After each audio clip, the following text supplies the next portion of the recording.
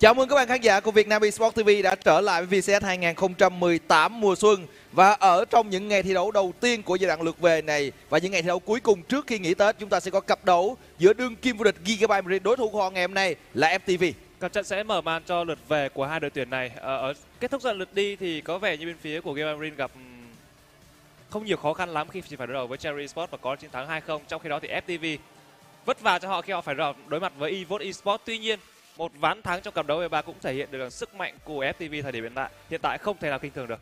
Chúng ta hãy nhìn vào đội hình xuất phát của Gigabyte Marine ngày hôm nay. Như vậy là tân binh Sena sau một trận thi đấu tôi nghĩ rằng ra quân tương đối là là ổn chấp nhận được thì đã phải rời khỏi đội hình xuất phát để trả lại cho Chris Kai người đi rừng tạm coi là số 1 của Gigabyte Marine ở trong ngày hôm nay. Trong khi đó thì bên phía của FTV đang giữ nguyên đội hình của mình Taurus, Nai, Victory với Slayer và Akeno. Năm thành viên của họ đang có những bước tiến khá là tốt về mặt phong độ. Mặc dù họ vẫn đang đứng ở nửa dưới của bảng xếp hạng, nhưng tôi tin rằng từ giờ cho đến hết giai đoạn lượt về vòng bảng, họ sẽ có nhiều chiến thắng hơn nữa. Đúng là như vậy với màn thể hiện của họ ở tại tại giai đoạn lượt đi, có thể thành tích của họ chưa quá tốt nhưng mà những gì mà họ thể hiện cũng đang thấy cho cho chúng ta thấy là đây là một đội tuyển hết sức tiềm năng tại VCS. Và với cái việc đó là đội hình của họ mới lắp ghép lại từ mùa giải lần này thì mục tiêu của họ không phải là quá nhiều ở tại mùa giải à, mùa xuân tôi nghĩ đến mùa hè thì nếu như mà phát triển được hơn nữa với cái đội hình này thì họ sẽ đi xa hơn. Đến ván đấu đầu tiên cấm chọn Gibai Marine sẽ bên phía đội xanh. FTV bên phía đội đỏ. Lực cấm đầu tiên mà Marine đưa ra nhắm trực tiếp vào Victory với lực cấm dry. Rõ ràng là với màn trình diễn về mặt phong độ cũng như là cái tâm lý thi đấu của Zero đây đây không phải là con tướng mà bên phía của Gam muốn sử dụng cho cá nhân anh ta luôn. Ừ. và khi bạn có một đường giữa bây giờ đang yếu những lực cấm của Gam thể hiện rất rõ điều này. Họ đang chuẩn bị cho một cái lựa chọn đường giữa nó nó sẽ phù hợp với Zero đây tức là họ cấm đi những con tướng mạnh trong meta. Thậm chí họ có thể cấm luôn Azir không? Và cho bên phía của Zero đây sẽ có một cái giai đoạn đầu dễ thở hơn. Ờ, họ Galio. Galio. Đây là combo rất nguy hiểm. Mà chúng ta đã thấy UTM sử dụng một lần và đánh bại Gam ở trong ván đấu. Và Gam không muốn có con bài Galio xuất hiện ở trong đội hình của FTV mặc dù tôi nghĩ là với phong cách đánh của Victory chưa chắc anh ta đã yêu thích sử dụng con bài Galio này nhưng cấm đi cho chắc. Và nếu như xét về một lựa chọn đường giữa nào đó dành cho Zerai thì có hai lựa chọn mà tôi thấy anh ta sử dụng nhiều. Đó là một là Thalia đã bị cấm đi hai là con bài Vega. Anh ta đã mang ra rất là nhiều lần ở tại giải đấu VCS lần này. Không hiệu quả chưa bao giờ cảm nhận được Vega của anh ta thật sự là hiệu quả cả. Tức là đã có những ván thắng với Vega rồi nhưng con Vega không phải là nguyên nhân chính dẫn tới những thắng lợi đó của Gigabyte ý của tôi muốn nói là như vậy. Thì tôi không biết là bên phía của Gilbert sẽ có một cái gì đó khác dành cho Zero đây hay không hay chỉ có một con bài tủ là Vega đem ra 2 đến 3 lần ở tại giai đoạn vừa qua mà thôi. Trong khi đó thì đây họ sẽ phải tôi nghĩ rằng họ có thể chọn Asia đầu tiên dành cho Zero đây nhưng họ sẽ phải đối mặt với lại uh, Asia của Victory. Vấn đề là bản thân Gam đã từng chủ động chọn Vega sau khi đối phương có Asia. Đúng là như vậy. Nhưng như đã nói nó cảm giác nó hoàn toàn không hiệu quả một chút xíu nào cả. Những lực cấm trước đó của FTV thì một dành cho No Way với Kalista và thêm con bài Cơ Đây là một con bài mà hoàn toàn có thể first pick được. Và trong kèo đấu 1 vs 1 thì Cơ không thua đường so với On ở tất cả các giai đoạn từ chỉ có thua trong giai đoạn cho tranh tổng thôi, còn từ đẩy lẻ cho đến đi đường thì On đều bị Cơ khắc chế cả. Đồng ý. Và đó lý do vì sao mà Gilbert Marine lựa chọn sớm con bài On này khi thấy đối phương cấm đi Cơ Nhưng rõ ràng là FTV đang muốn hướng về con Na đường trên. Ừ. Nếu như mà Gigabyte Marine chính xác là FTV không chọn được ở trong cái giai đoạn cấm một và chọn một này thì khả năng Gigabyte Brain sẽ cấm ở trong giai đoạn sau bởi vì cái combo Azir, Javan và Na tôi nghĩ rằng nó đang rất là đẹp trong cái meta hiện tại và tôi nghĩ là vô cùng dễ để có thể vận hành được cái đội hình với cái cái dàn như vậy bên phía của FTV.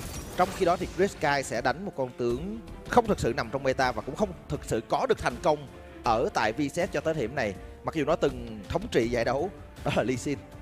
Tôi nghĩ là anh ta có thể sẽ hướng đến Suoni nhưng quyết định của anh ta lại là để hướng đến một con bài đánh kỹ năng đó là Lee Sin. Và với lựa chọn Lee Sin này tôi nghĩ là bên phía của Game Marine đang muốn đánh và xâm lăng rừng nhiều hơn ở trong khoảng thời gian ban đầu thay vì chọn một vị tướng bị động như là Suoni ở những cấp độ đầu. Bên phía bên này như chúng ta nói, đây là bộ ba combo đang nằm trong meta tức là khả năng đi đường của họ rất mạnh, khả năng kết hợp trong giao tranh rất dễ và hiệu quả.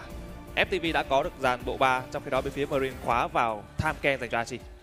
Cái bộ ba của FTV ừ, nếu như bạn đánh giá một con tướng, các bạn sẽ có những cái điểm như là đầu game thế nào, giữa game thế nào, cuối game thế nào, và mạnh cái gì, yếu cái gì. Bộ ba FTV đang có gần như là tôi cảm giác là không có điểm yếu gì nhiều lắm. Tức là nó rất là dễ chơi và nó rất là dễ trúng thưởng luôn. Bây giờ sẽ khó hơn cho gam rồi nha. Bây giờ bên phía của FTV họ, tôi nghĩ rằng họ sẽ hướng tới Varus nè rồi Brom nè Alistar nè, để hoàn thành một cái đội hình gọi là siêu dễ chơi luôn, dành cho bên phía của mình. Họ cần một DPS nữa đến từ Slider và ờ, có lẽ chúng ta sẽ phải chờ đến phase 2 trong lượt lựa chọn. Còn đến với lượt cấm thì FTV đang nhắm nhiều vào Zero Day. Họ không đặt nặng trọng tâm vào No Way nữa. Xạ thủ chúng ta chỉ bị cấm đi một con duy nhất, đó là Kalista mà thôi. Toàn bộ dàn xạ thủ đều đang được hở ra ở 8.2 này thì cả hai đều đang không muốn nhắm nhiều vào vị trí xạ thủ. Trong khi đó thì Giva Marine đã tước đi hai hỗ trợ của Akeno Taric cùng với lại Raka. FTV sẽ phải chọn trước và tôi nghĩ là họ nên chọn uh, xạ thủ trước luôn xạ để thủ thấy luôn. một con tướng nào mà cảm thấy ok cho Slayer thì bây giờ tự nhiên gợi ý là có Varus. Còn uh, lựa chọn hai thì có thể là Ezreal. Ezreal. Là combo hai con tướng xạ thủ đang rất là ưa chuộng ở trong meta này. Cốc mo được chọn Họ- hơi tự tin một chút xíu ở trong tình huống này. Họ sợ No Way có được Cockmore thì thì hơn. Tôi nghĩ là khi đúng cái combo mo với lại Tam tam Ken. ken đúng không? Như vậy thì là họ lấy đi cốc mo như vậy bắt buộc họ sẽ phải chọn uh, Brom hoặc là Alistar ở đường dưới hoặc là một hỗ trợ dạng rút lui và bảo kê kiểu như là Zanna. Đó. Thì uh, FTV sẽ có cái đó. Trong khi đó thì Gam bây giờ sẽ chọn đường giữa và xạ thủ No Way đang để là Chích nó sẽ được khóa vào. Ôi đổi những giây cuối cùng. Kathleen rồi đường giữa gì đây? Dành cho Zero đây. Để đánh lại cùng với lại Azir được giữa thực sự không còn nhiều lắm. Giờ chắc còn Oriana đánh theo kiểu đội hình căn bản à. Wow. Ô Cái này hay nè, con tướng đầu tiên xuất hiện, lần đầu tiên xuất hiện ở tại VCS mùa này nếu được khóa vào. Nhưng Ôi! Lần thứ hai xuất hiện rồi. Lần thứ hai anh ta đã từng mang nó ra một lần. Uh, Fiddlestick để đi cặp cùng với lại Azir Fiddlestick là một con bài có khả năng tạo đột biến và gây được rất nhiều sát thương trong giao tranh Thực ra để đối phó Azir Confistic đã chứng minh được độ hiệu quả của mình. Ừ. Bạn khi mà bạn thấy Azir combo với ờ, các lưu động vào thì bạn sẽ có rất là nhiều cách để khiến cho Azir không thể dùng cái phân chia thiên hạ của mình được. Là bạn có câm lặng, bạn có hoảng sợ đặc biệt là cái hoảng sợ nó ngay lập tức click cái có luôn là đối phương sẽ không combo được một cách mượt mà trong những tình huống mà Azir lao lên. Thì điều này đã được bên phía của Gam triển khai rồi ở tại VCS rồi thì họ tin được cái độ hiệu quả của nó nhưng cái thời điểm đầu mùa giải đó là một thời điểm mà Gam tôi cảm nhận phong độ của họ còn đang tốt và đối phương còn đang hơi bị bất ngờ với những cái điều lạ mà bên phía Gam đem lại. Ngày hôm nay đã là giai đoạn lượt về rồi. FTV cũng đã có rất nhiều thời gian để có thể xem Gam thi đấu như thế nào. Thì liệu những cái thú vị bên phía Gam có còn đem lại hiệu quả cho họ nữa không? Tôi nghĩ là lựa chọn Kathleen này nó sẽ phục vụ cho việc đẩy đường ở trong khoảng thời gian ban đầu hơn rất nhiều. Nếu như họ chọn trick thì đường dưới của họ sẽ bị đẩy so với đối phương và nó sẽ không tạo tiền đề được cho cái lối đánh tấn công của Kriska với các bài Lee Sin này. Đó là lý do vì sao bên phía của Marine quyết định chọn một xạ thủ có khả năng đẩy đường và tấn công mạnh trong khoảng thời gian ban đầu đó là Caitlyn để đi cặp cùng với Ken đường dưới để đi cặp cùng với lại cặp đôi xạ thủ hỗ trợ mà chúng ta đã nói với Cockmore và Chana. Nhưng cảm giác của tôi khi một cái đường bạn đi với Tamken ngay cả khi là bạn có Kathleen như thế này chưa chắc là bạn đã đẩy tốt hơn so với lại Zanna và Cockmore Ừ. một Zanna đánh chủ động ở khu vực đường dưới tiến lên đúp đối phương liên tục rồi e vào mình hoặc là e cho xạ thủ của mình tạo lớp giáp gió rồi tăng sát thương thì vẫn có khả năng đẩy lính cao hơn và thậm chí là ngang bằng so với những gì Kathleen có thể làm được. Đó là tùy theo cái lối đánh của bên phía Gam liệu có muốn đẩy mạnh ở khu vực đường dưới hay không mà thôi.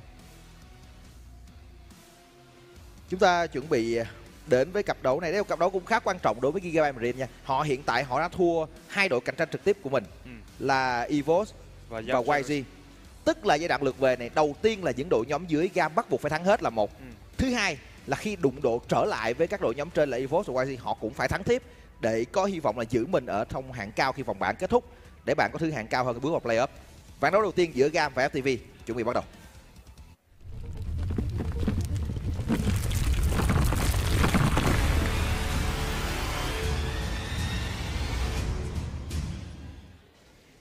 Ván đấu đầu tiên giữa Gigabyte Marine và FTV diễn ra ở tại GD Stadium ngày hôm nay. Đây là ngày thi đấu cuối cùng trước khi chúng ta bước vào dịp nghỉ Tết âm lịch cho nên chắc chắn là ai cũng muốn thắng để ăn Tết cho nó vui. Và Gam ở phía đội 1, FTV đội 2. Tôi không biết là Kathleen của Norway có mang sách phép hay không. Nếu như muốn đẩy nhanh hơn so với Cockmore thì gần như bắt buộc bạn sẽ phải mang sách phép dành cho Kathleen để gia tăng khả năng đẩy đường. Và Tham Ken những cấp độ đầu thường sẽ phải ưu tiên nâng kỹ năng đúp để dọn dẹp lính nhanh nhất có thể. Rừng thì nếu như được rừng nên khởi đầu từ mạn rừng đường trên xuống để khiến cho cặp đôi xạ thủ hỗ trợ mình không phải giúp rừng trong khoảng thời gian ban đầu. nó sẽ lợi thế về đẩy đường. Nhưng để xem cả hai sẽ khởi đầu như thế nào. Đường giữa, một máy dọn lính xuất hiện trên người của Zerai để hạn chế khả năng đẩy đến từ một Azir lần trước khi mà bên phía của gam sử dụng phía stick tôi nhớ không lầm là phía stick đó cầm luôn cả trừng phạt để hỗ trợ cho rừng thì phải.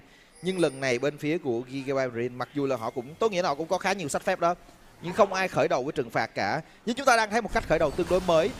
Tôi đang để ý tới cái bản đồ nhỏ kìa. Ừ. đó là Lee Sin của Chris Sky sẽ khởi đầu ở khu vực bãi sói trước. Đây là một cách khởi đầu mà đã có nhiều người nói với tôi ừ, khá là hiệu quả ở trong những phiên bản từ phiên bản 8 chấm trở đi. Thì cái cách khởi đầu từ bãi sói trước ừ, bắt đầu có được cái cái lợi thế của mình. Là một bãi xuất hiện sớm hơn so với bãi cóc là một thứ hai nữa là bạn ăn xong bạn vẫn có cấp độ 2 của một người đi rừng. Và thứ ba nữa là bạn sẽ khởi đầu từ mạn rừng đường trên xuống đối với một ly xin thì việc ăn bãi người xanh, bãi bùa xanh sẽ mất tương đối nhiều thời gian và thực sự không cần thiết đối với ly xin trong khoảng thời gian ban đầu. Thì như tôi đã nói, cả hai người rừng đều khởi đầu từ mạn rừng đường trên xuống để tạo thế đẩy đường dưới. Archie cấp độ 1 tiến vào cắm mắt, phát hiện ra Nai đang ăn bùa xanh. Và để xem Chris Sky sẽ xử lý như thế nào khi anh ta đã phát hiện ra người đi rừng của đối phương ở khu vực bùa xanh như vậy. Họ muốn tấn công thẳng ra đường giữa sớm chăng? Với góc đứng hiện tại, victory không thể nào gặp nguy hiểm nhưng Chris Sky thực ra anh ta muốn đi vào khu vực bãi sói của đối phương. Cấp 2 đánh cấp 2 bùa đỏ chống bùa đỏ. Có trừng phạt. Chris Sky nhảy vào. Anh ta lao vào tấn công luôn. Anh ta đá anh ta quy vào con sói. Đó là một tình huống mà bên phía của Chris Sky ép được cái tốc biến của Nai mà thôi. Nhưng thực ra nó hiệu quả tôi nghĩ là việc ép được tốc biến của một Javan trong khoảng thời gian ban đầu đã thành công đối với Lee Sin rồi. Anh ta sẽ đẩy mạnh lợi thế của mình. Anh ta vẫn còn trừng phạt. Một pha sóng âm tốt đến từ Chris Sky đang đánh rất đúng bài. Chris Sky đang xử lý thông tin tốt với những gì mà anh ta có trong khoảng thời gian ban đầu này? Này cực kỳ thấp máu. Này nên về không thể nào làm được gì nữa trong tình huống này cả. Và anh ta đang bị Chris Sky ép khá là nhiều. Anh ta đã mất con sói lớn rồi đúng không? Mất thêm con chim lớn nữa. Và anh ta mất thêm con chim lớn nữa. Anh ta sẽ mất khá là nhiều điểm kinh nghiệm ở trong tình huống này. Với lợi thế đẩy ở đường giữa thì Chris Sky đang xâm lăng rừng cực kỳ hiệu quả ở trong khoảng thời gian ban đầu. Ép được tốc biến của một Javan hạn chế sức ép trên toàn bản đồ. Và bây giờ các đường của Marine sẽ thoải mái không sợ rừng đối phương đi ganh. Đó lý do vì sao mà đường trên Zeros với cái thiêu đốt của anh ta vẫn đang gây được rất là nhiều sức ép lên Taurus và anh ta là người đẩy nhanh hơn với cái thổi bể của mình. Dịch chuyển luôn. Tôi đang thấy một cú dịch chuyển băng luôn trụ. đến từ gam và họ đang muốn băng trụ ba người sống âm vô ảnh cước Taurus đã tốc biến và ta chẳng có cách nào để thoát cả. Chiến công đầu thuộc về Zeros. Cú dịch chuyển hoàn toàn dư thừa đến Zero Day trong pha vừa rồi. Nó để đảm bảo chắc chắn là họ sẽ có được chiến công đầu mà thôi. Và Taurus đường trên đã mất tốc biến nhưng vẫn phải bị hạ gục. Điểm hạ gục nó rơi vào tay của Zeros. Tình huống đó thì cái kỹ năng quan trọng nhất trong tình huống băng trụ của Gam đó là cái sóng âm. Ừ. thì nó đã trúng trước rồi.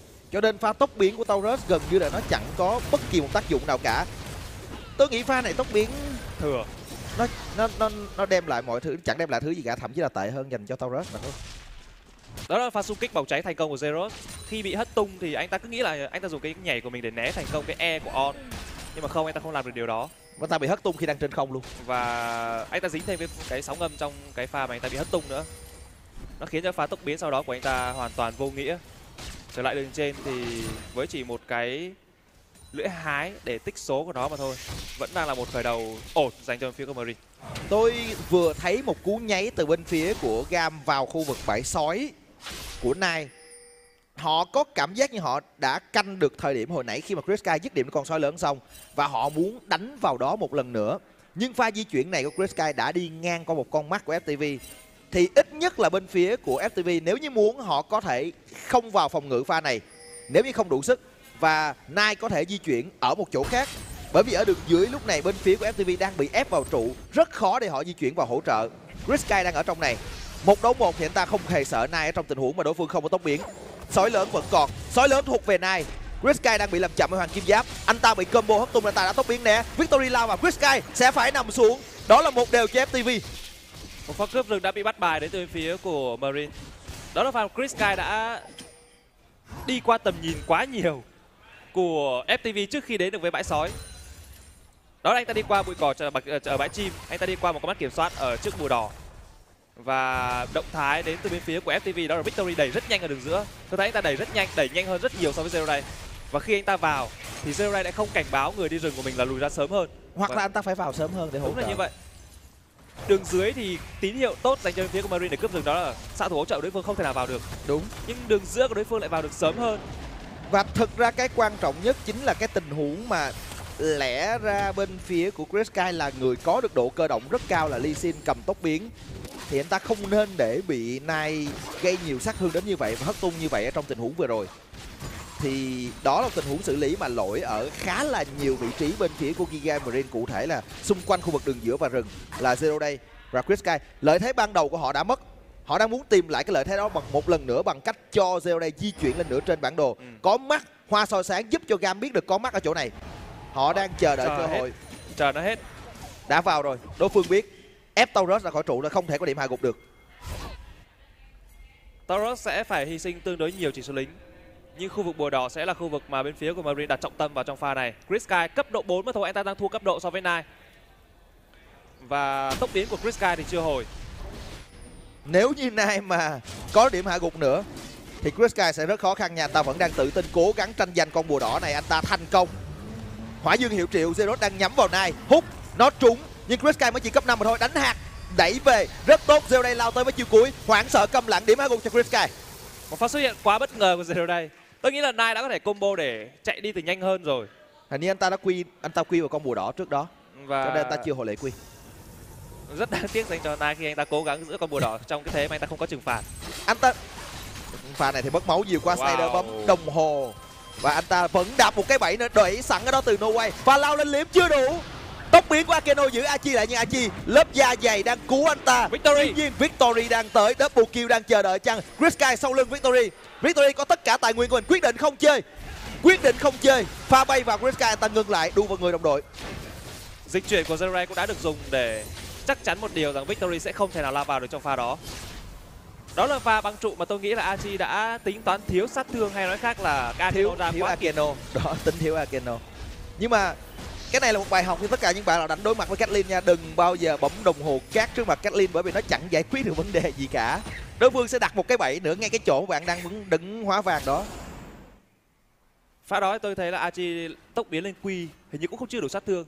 Hoặc là anh ta tính nhầm rằng mình đã đổi cái thiêu đốt thành cái dịch chuyển. Và rõ ràng là không đủ sát thương trong pha vừa rồi đến từ bên phía của Giga Marine. nhưng mà cuối cùng là không lời lắm nên là bản thân Achi mất tốc biến Akeno còn một chấm máu kìa tôi nghĩ là nên về đường dưới của bên phía FTV nên về còn đường trên của Gam đang bị tấn công. Taurus lao lên chiếc điểm của Zero hay không? Chưa. Đồng hồ cứu Zero. Taurus vẫn đang đứng lại nhưng có lính ta không quan quy được. Trong khi đó Chris Sky bị bắt. Có người nuốt là Achi. Achi lên cứu Chris Sky nhưng hai người bị đẩy về. Và Chris Sky nằm trước. Achi chắc chắn là nằm sau nhường mạng cho Snyder được không? Không. Victory ăn luôn double kill. Và thi đấu quá quyết đoán đến từ Victory nhưng bách phát bách trúng. chưa đủ sát thương Akeno lại một lần nữa. Thoát chết trong gang tấc anh ta có cấp độ 6 và anh ta có chiều cuối của mình để hồi máu. Bùa xanh vẫn sẽ được kiểm soát đến từ phía của MTV Đó là động thái cướp bùa xanh đến từ Chris Kai, nhưng anh ta chỉ cấp độ 5 mà thôi. Người cứu anh ta là một người không còn tốc biến. Việc nuốt Chris Kai vào lại càng tạo tiền đề cho Victory tốc biến và dùng chiều cuối đẩy hai người đối phương về. Đó là hai điểm cùng liên tiếp dành cho MTV Chúng ta xem lại tình huống này Chris Kai dùng đồng hồ né combo của Nai, nhưng ta vẫn bị đại địa chấn giữ lại, đu được vào người Achi nhưng Victory đứng kế bên luôn như thế này Victory, tôi nghĩ là còn hơi chắc cú đó pha đó, tôi nghĩ là đánh tự tin thì không cần tốc biến đâu Và đó là hai điểm gục dành cho một Azir. Đây sẽ là một lượng sát thương rất khó kiểm soát. dịch chuyển. Taurus đang dịch chuyển. Anh ta sắp có na khổng lồ luôn nha. No Way vẫn còn tốc biến Achi nuốt No Way vào. Taurus chuẩn bị có na khổng lồ ngay bây giờ. Hai người bị làm choáng. No Way bấm đồng hồ. Nhưng hết đồng hồ liệu có thoát hay không đây? Anh ta tốc biến đi. Tạm thời thoát được. No Way lui về được. Grisky đang chạy tới. Nhưng Achi vẫn còn đồng hồ. Pha dịch chuyển từ Zeros anh ta có hỏa dương hiệu triệu. Anh ta hút không trúng ai cả. Nhưng Slayer đang bị kẹt và Slayer không thể có được điểm hạ gục Achi ê. Achi đang bị dí bởi cho và ta bị cho cắn rồi và đó là điểm hạ gục tiếp theo còn nữa. luôn Zeo đây chặn được về của Akeno double kill cho Zeo đây nhưng vấn đề là vấn đề là có về được hay không còn đồng hồ và anh ta lui về được với đồng đội của mình Anh ta lui về được trong pha này. Nai đến quá trễ và anh ta cũng không còn chiều cuối để có thể dồn sát thương hạ gục Zero trong pha này. Đó là pha thi đấu mà tôi nghĩ là cái dịch chuyển của Taurus đã tương đối miễn cưỡng trong pha vừa rồi khi anh ta không có chiều cuối. Anh ta có na khổng lồ nhưng anh ta không có chiều cuối trong pha vừa rồi và không thể nào làm khó được các thành viên phía của Marine. Archie cùng với No Way cứ ngỡ như là họ đã phải chết chắc rồi nhưng họ vẫn về được. và cuối cùng là lỗ lỗ nặng luôn lỗ nha nặng luôn. lỗ nặng luôn đến từ May bên là phía của Slayer mình. ăn lại một điểm ạ một cái nội tại nha.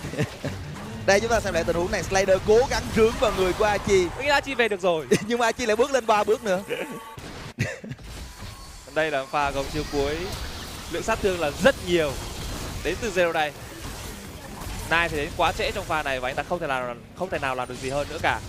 Rất nhiều điểm gục dành cho Marine trong pha tấn công vừa rồi đến từ FTV.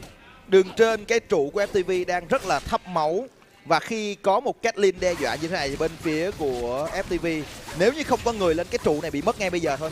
Đợt lính này, đợt lính sau tích lại một cái là bên phía Gam sẽ có được cái trụ. Đây, Tôi nghĩ đây là điều mà bên phía của FTV đã có thể sẽ phải chuẩn bị khi mà họ pick kèo mò cùng với Kathleen, Đặc biệt là Kathleen sách phép nữa. Liên tục bị đẩy lính vào và khiến cho trụ một đường dưới đã rất thấp máu rồi.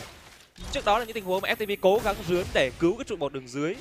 Những pha tấn công của họ thất bại nó khiến cho cái giá phải trả là trụ một đường dưới mất đi bây giờ kéo theo cả trụ một đường trên cũng làm rất thấp máu nữa. bây giờ thì rõ ràng là Chris Sky biết mình phải làm gì trong tình huống này. Thấy đường trên trụ thấp máu, anh ta phải lởn vởn ở xung quanh khu vực của No Way và Achi để đảm bảo bảo rằng Gam có đủ áp lực để ăn được cái trụ đó.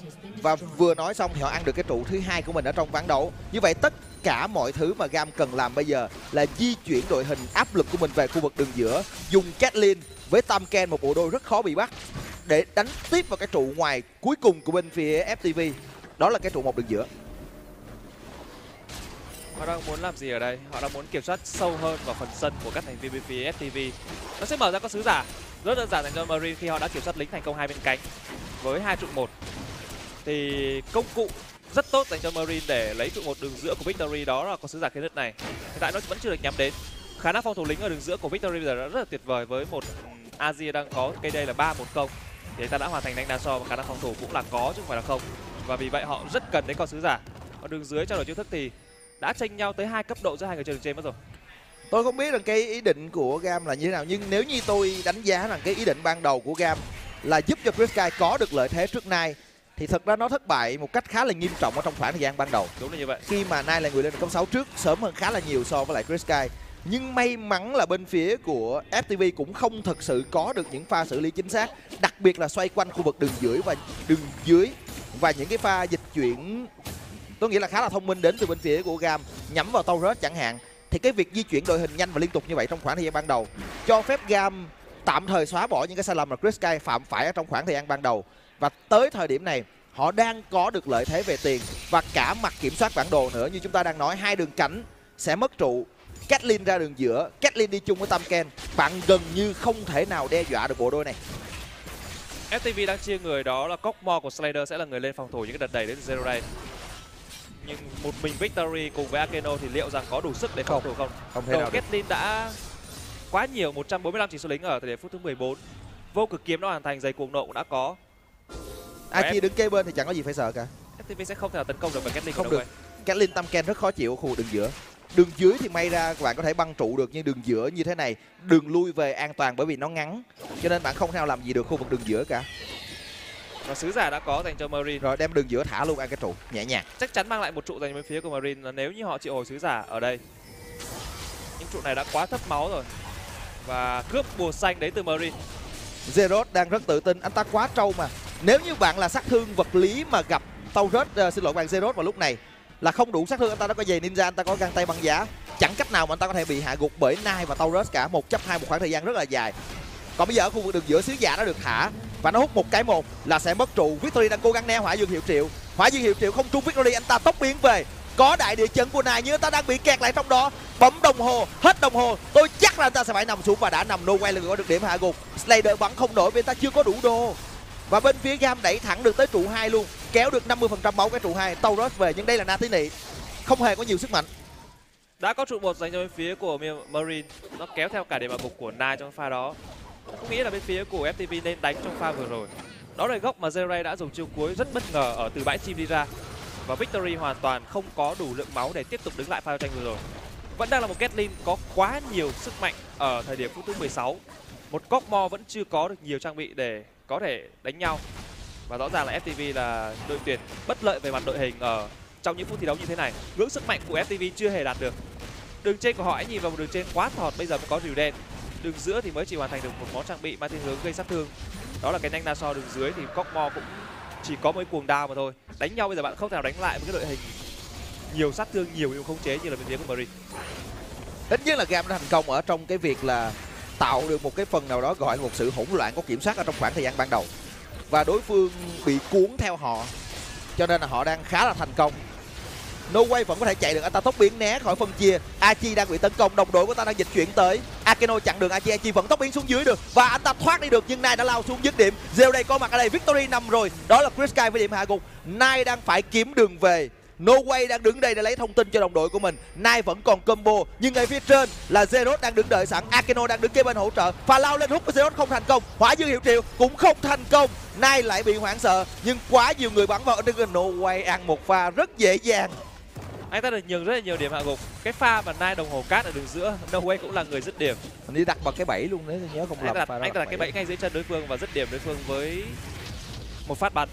200 171 chỉ số lính. Đó là những gì mà no way sở hữu ở thời điểm này. Anh ta là một Catlin tương đối khó kiểm soát dành cho bên phía của FTV rồi nha. Còn FTV trong pha vừa rồi thì họ lao vào một pha tranh với việc chỉ hạ gục được Achi mà thôi.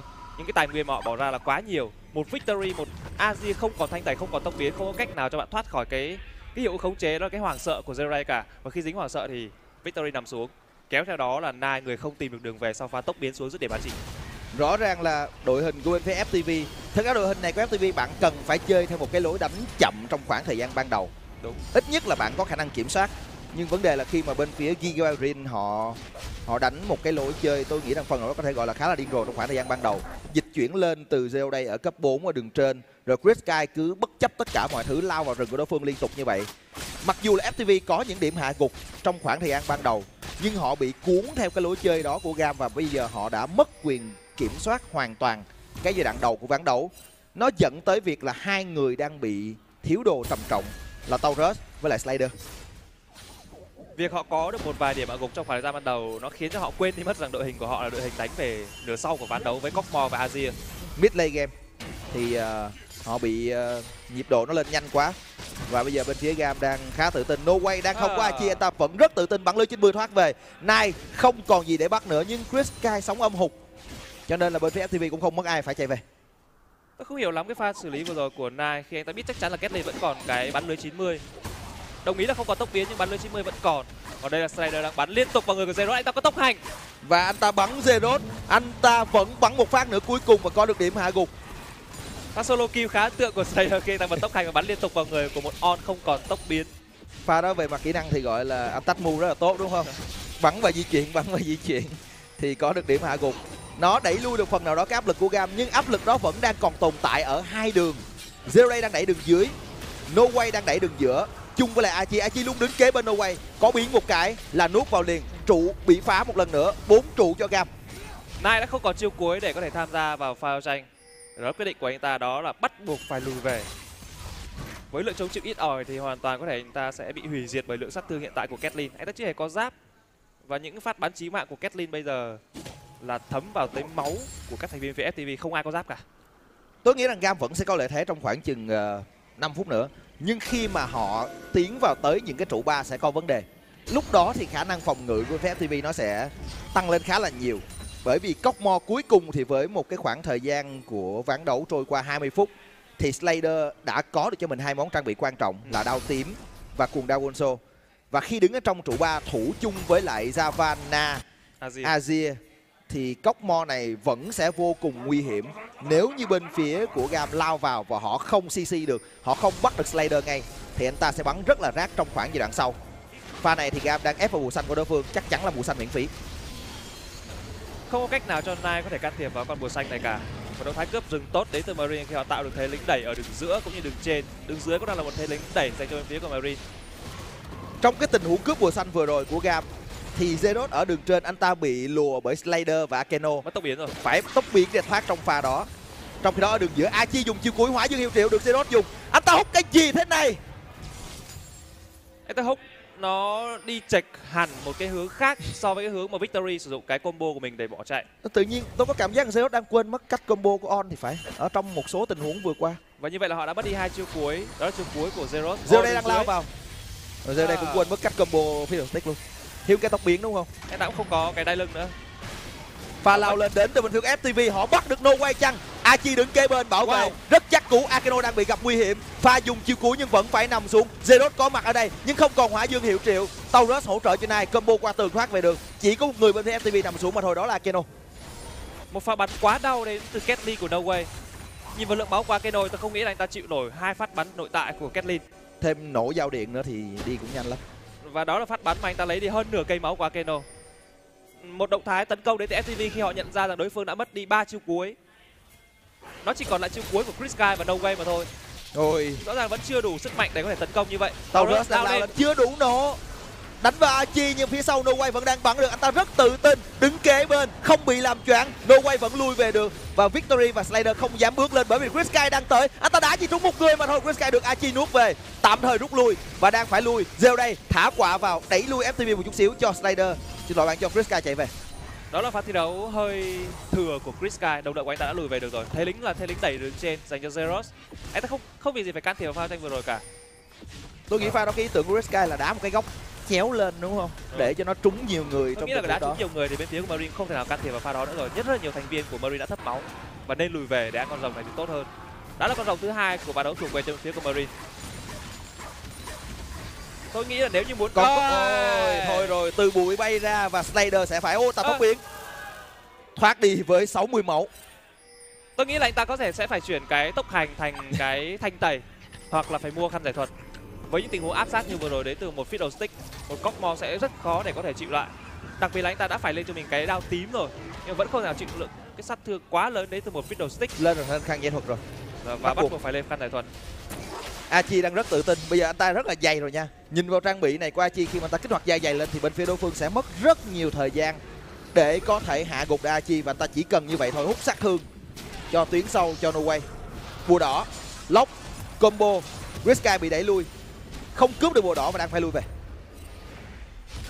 Nãy giờ thì Marine đang gặp một vấn đề trong việc tấn công vào các trụ hai của đối phương. Ở đội hình của họ đồng ý là có Kathleen nhưng mà vẫn chưa thể nào tấn công vào trụ hai, đặc biệt là nếu như tấn công vào trụ ba còn gặp nhiều khó khăn hơn. Vì vậy Baron sẽ là công cụ duy nhất giúp cho Marine có thể làm được điều này hoặc là bắt lẻ được đối phương.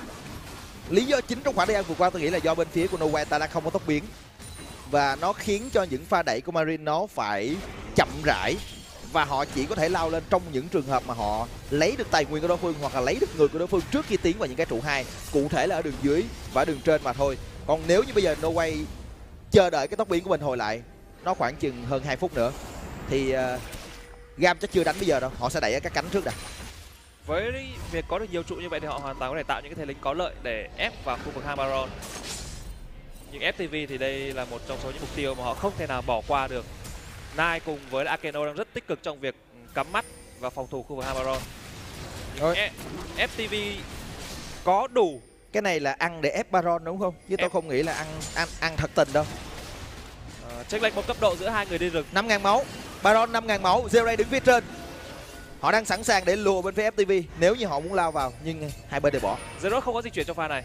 Và đó lý do vì sao mà Mori không dám tự tin đứng lại quá lâu ở quanh khu vực Hamaron.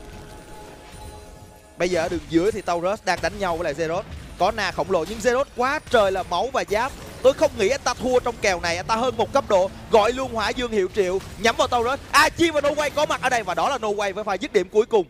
Việc nhẹ lương vô cùng cao 400 Trụ bot chắc chắn sẽ thuộc về bên phía của Marine thôi. Tôi không nghĩ là có đủ sức để phòng thủ đến FTV nữa rồi. Đó là pha dụng quá quá quá dễ dàng đến từ Zeros Và tôi không hiểu tại sao Taurus lại lao vào pha solo 1 vs 1 Với một con on không có cách nào cho anh ta hạ gục được con on này cả. Ngay cả là một một không có cách nào anh ta thắng được khi mà trang bị của hai bên nó kiểu như thế này. Trừ khi nào mà bạn bằng đồ hoặc là hơn đồ thì kèo này bạn mới có thể thắng được. Còn nếu như bạn thua đồ thì không có cửa nào mà cái kèo na với lại on này bạn có thể thắng được trong kèo một một cả. Và những pha sai lầm như vậy đã mang lại thêm rất là nhiều tài nguyên dành cho phía của marine. Họ đã giải phóng được một đợt lính rất lớn ở đường dưới với việc có được hai trụ của đối phương tao rớt và ra phòng ngự là Marine sẽ thoải mái kiểm soát phần còn lại của bản đồ nhưng hơi xui cho họ. Là đúng thời điểm này thì các thành viên họ cầm nhiều tiền phải về nhà mua đồ cho nên họ không ép vào Baron được ngay. Những chênh lệch về tiền đã lên tới con số là hơn 9.000 tiền. Nó vẫn là lượng tiền quá lớn ở thời điểm phút thứ 25 26 như thế này. Và FTV cho dù họ có lao vào vòng giao tranh đẹp nhất có thể thì tôi nghĩ là lượng chênh lệch về đồ nó vẫn sẽ giúp cho bên phía của Marine có được lợi thế mà thôi. Đây bây giờ đồ như thế này thì Zeros chẳng có lý do gì phải ngại cả. Anh ta còn có được cái lợi thế là anh ta mua một trang bị lớn xong quan trọng đó là cái giáp máu vừa móc cho nên những cái pha mà một một kéo máu xong lui về nhẹ một cái sáu bảy giây sau ta hồi lại đầy máu. Thì Taurus chẳng cách nào có thể làm được gì cả. FTV vẫn đang phải có cụm để phòng thủ. Họ biết rằng mình đang bị thua quá nhiều đồ so với đối phương. Họ cần có thêm những trang bị lớn trên người những cái chủ lực của họ để lao vào những pha giao tranh mà chắc chắn là họ sẽ không bị thua quá nhiều sát thương so với Marine nhưng Marine đang sở hữu những chủ lực quá khỏe. Một fiddlestick đã có được nhiều đây trang bị. Một Kathleen đang có được lượng trang bị vượt trội so với thời gian. Và để xem bên phía của FTV thì bằng một cách nào đó họ phải hạ gục Kathleen của đối phương nhanh nhất có thể. Còn nếu như để Kathleen này có được khoảng trống để gây sát thương, thì không ai bên phía của FTV có đủ lượng giáp để chống lại cả. Gam đang ăn Baron. Nai bắt buộc sẽ phải tiến vào. FTV sẽ bắt buộc phải tiến vào. Và họ phải cẩn trọng khi mà Zero đây dùng bảo quả lên phía trên. Zerot chặn đường của Nai. Anh ta đang bị giữ phía ngoài Chưa vào được. Zerot dùng hỏa dương hiệu triệu. Baron vẫn đang được ăn bởi Gam. Họ ăn xong Baron Và Nai bị kẹt trong hang Baron. Nai phải nằm xuống trong đó. Zero đây lao lên Bấm đồng hồ. Anh ta còn tốc biến Và ta tốc biến về vẫn đang thoát được. Chris Sky Quy trúng vào người của Slider. Chưa bay vào đã bay vào. Dính kiệt sức đá được victory về. Và victory nằm xuống. Taurus đang gặp nguy hiểm. Anh ta còn tốc biến tốc biến để né sóng âm. No way tốc wow. biến lên chơi luôn. Double kill dành cho xạ thủ của gam. Và đang tìm kiếm điểm hạ gục thứ ba của mình đã có rồi. Và thứ tư và quát đúng là long tử quát ra kill cho no way tôi nhớ câu này nói hơi nhiều rồi đúng không? Vẫn chỉ dừng lại ở quát ra kill mà thôi. Vẫn không thể nào tìm kiếm được một cú pentakill mà rồi. Anh ta đã bắn quá nhiệt ở trong pha vừa rồi. Tôi nghĩ cái khoảnh khắc mà anh ta có được pentakill chắc giải nghệ ngay tại đó luôn. Và bây giờ đẩy thẳng vào khu vực đường giữa bên phía của ftv công. Cái đội tại ẩn là phút 27 thôi. Hồi sinh ra khá là nhanh. Trong trường hợp tệ nhất tôi nghĩ là họ mất uh, thôi mất hết rồi này mất hết rồi. Này mất hết rồi. Bên phía gam đẩy thẳng vào khu vực đường giữa. Akeno ra. Không làm được gì cả. Zero đang lao lên chặn cho đồng đội của mình. Cú combo ba người của wow. phía này chẳng có tác dụng. Victory ra nhưng đã quá trễ rồi. Gam sẽ giành thắng lợi ván đấu đầu tiên sau 28 phút thi đấu. Rất dễ dàng dành cho Marine để chiến thắng ở trong ván đấu đầu tiên này. Hay nói khác là FTV đã bị cái lối chơi tấn công liên tục của Marine cuốn theo. Họ không thể nào ngừng lại được những pha tấn công liên tục. Và khi lao vào những pha giao tranh như vậy thì họ lại là những người bất lợi vì đội hình của họ là đội hình cần đồ, nhưng lại đánh nhau quá sớm, mất quá nhiều lợi thế vào Marine. Một pha tranh chấp Baron thất bại đã khiến cho bên phía của MTV lãnh chịu thất bại ở trong ván đấu đầu tiên. Có nghĩa rằng bên phía của Giga Marine, phần nào đó gọi là thành công với cái chiến thuật của mình, mặc dù không hoàn hảo ở cái điểm là Chris Sky không thực sự hủy diệt được rừng của Nai trong khoảng thời gian ban đầu, mặc dù là anh ta chiếm được hai cái mục tiêu khá quan trọng là con sói lớn và con chim biến dị lớn. Nhưng cái lần tấn công thứ hai thì họ lại không thành công. Chris Sky nằm xuống, nhưng nhìn chung cái ý đồ mà đẩy nhanh tốc độ trận đấu của Gam đã được hoàn thành một cách mỹ mãn và họ có được thắng lợi trong ván đấu đầu tiên kết thúc bằng cú quadra kill dành cho Norway. Chúng tôi sẽ trở lại với các bạn khi ván hai sẵn sàng bắt đầu.